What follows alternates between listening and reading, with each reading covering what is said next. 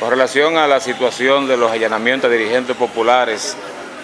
eh, tratando de vincularlo al secuestro, ¿cuál es su opinión como dirigente de FARC? Mira, eh, Francis, precisamente estamos ante un acontecimiento que solamente no ha consternado la familia de ese joven, sino toda la sociedad dominicana. Todo el que tiene hijos eh, está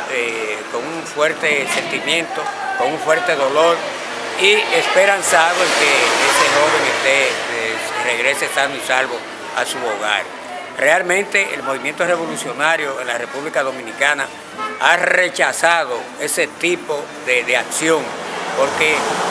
involucrar, tratar de involucrar el sector más puro de la sociedad dominicana en, acontecimientos tan borchonosos, tan horrendos, eh, de, delincuencia, yo creo que, es una vejación de parte de, las autoridades y además que nosotros que estamos viendo lo que se ventila es una demostración de incapacidad, vamos a decir, en, lo que ha sido eh, el proceso investigativo, los mecanismos de seguridad del Estado no han dado ni siquiera con el primer caso de lo que ha sucedido en Agua. Nosotros entendemos de que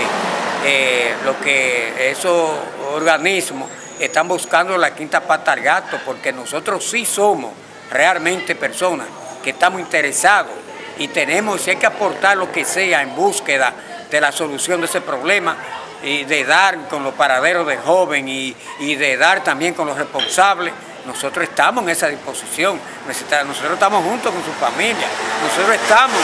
de la mano con el pueblo. Y el día de ayer pues fue una, una demostración de, la, de gran grado de solidaridad que ha tenido el pueblo con esta familia eh, ante este caso que a todos ha consternado, repito, y que realmente el movimiento revolucionario en la República Dominicana tiene un norte. Y el norte fundamental es que la sociedad transiste por senderos diferentes